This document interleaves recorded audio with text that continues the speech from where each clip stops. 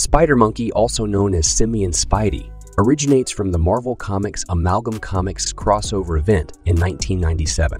In this special storyline, Spider Monkey combines elements from Marvel's Spider Man and DC's Gorilla Grodd.